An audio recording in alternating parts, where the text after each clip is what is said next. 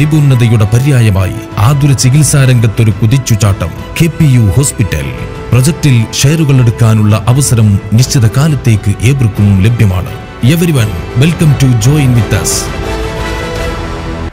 പ്രവാസികളോട് കേന്ദ്ര സർക്കാർ കാണിക്കുന്ന അനീതി അവസാനിപ്പിക്കണമെന്നാവശ്യപ്പെട്ട് പട്ടാമ്പിയിൽ കേരള പ്രവാസി സംഘത്തിന്റെ പ്രതിഷേധം. മേലെ പട്ടാമ്പിയിൽ നടത്തിയ ധർണ ജില്ലാ സെക്രട്ടറി എം എ നാസർ ഉദ്ഘാടനം ചെയ്തു.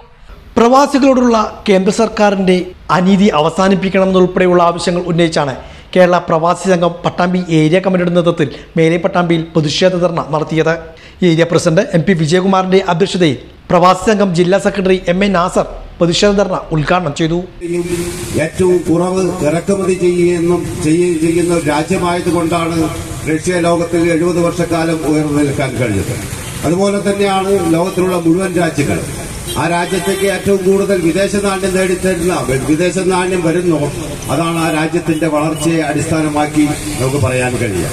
ആ രീതിയിൽ ഈ രാജ്യത്തിന്റെ വളർച്ച എന്ന് പറയുന്നത് ഇന്ന് ഇന്ത്യയെ സംബന്ധിച്ചിടത്തോളം ഏതാണ്ട് ആറ് ലക്ഷം കോടി രൂപയാണ്. കൃത്യമായിട്ടുള്ള കണക്കല്ല. കഴിഞ്ഞ വർഷത്തെ കണക്കാണ്. ആ കണക്കുകൾ വീണ്ടും വീണ്ടും ഉയർന്നുകൊണ്ടിരിക്കുകയാണ്. ഏതാണ്ട് ആറ് ലക്ഷം കോടി രൂപ. ആറ് ലക്ഷം കോടി രൂപ എന്ന് പറഞ്ഞു കഴിഞ്ഞാൽ ഇന്ത്യ രാജ്യത്തിന്റെ ബജറ്റിന്റെ നല്ലൊരു ശതമാനം വിദേശ രാജ്യങ്ങളിൽ ജോലിയെടുക്കുന്ന പ്രവാസികളായിട്ടുള്ള മനുഷ്യർ നമ്മുടെ രാജ്യത്തേക്ക് അയക്കുന്ന അതിന്റെ സഹായത്തോടു കൂടിയാണ് ഈ രാജ്യം നിലനിൽക്കുന്നത് എന്ന് വേണമെങ്കിൽ നമുക്ക് പറയാം. C P M Pattambi area secretary T Gopalakrishnan area committee അംഗം യു അജയകുമാർ പ്രവാസി അംഗം ജില്ലാ vice president E Yahu Pattambi municipal secretary Jaleel area secretary Riyas Kodumunda തുടങ്ങിയവരും പങ്കെടുത്ത് സംസാരിച്ചു.